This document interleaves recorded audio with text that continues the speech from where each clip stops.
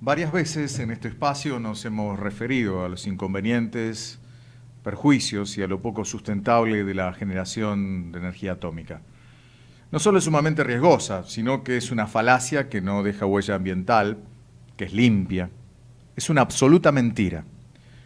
Tiene un alto potencial de riesgo, deja huella por cientos de miles de años con sus residuos radiactivos.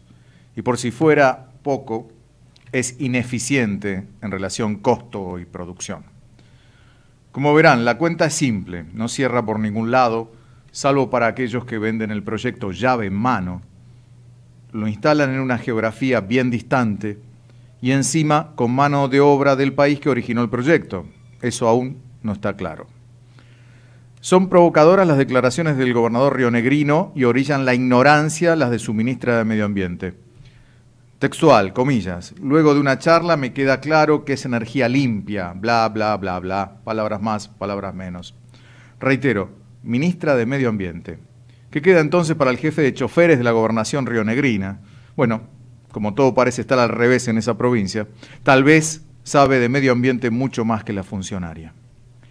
Es una locura lo que quieren hacer en Río Negro. Sus funcionarios están poniendo en peligro a todas las futuras generaciones y estarán alterando todo un litoral marítimo prácticamente virgen. En Europa se alienta el apagón nuclear y nosotros en lugar de ponernos a la vanguardia de las energías renovables, adoptamos tecnología que va hacia su ocaso. Que no nos vendan espejitos de colores otra vez, con la inversión, con los puestos de trabajo, con promesas. Busquemos un desarrollo fructífero, sustentable, actuemos con sabiduría hoy pensando en mañana. Espero que lo que yo quiero no sea mucho pedir.